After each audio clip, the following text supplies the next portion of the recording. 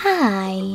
In front of me is Samsung Galaxy Tab A9 and today I would like to show you how you can clone apps. Start by going into Devices Settings and scrolling down right away to access Advanced Features.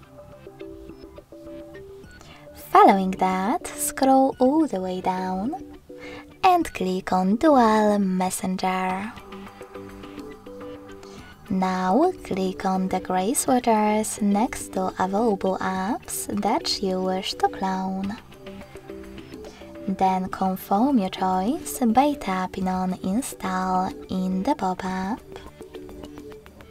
Tap on Confirm in Disclaimer 1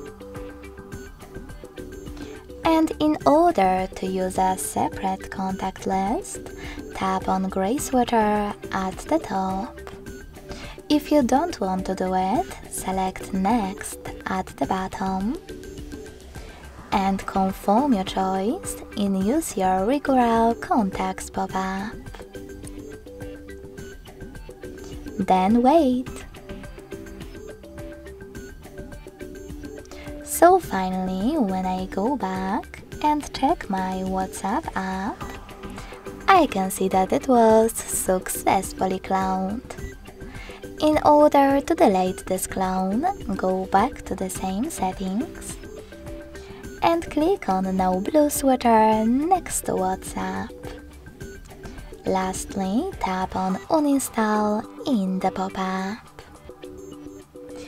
Thanks so much for watching. If you enjoyed this video, don't forget to leave a like, comment and subscribe. Bye!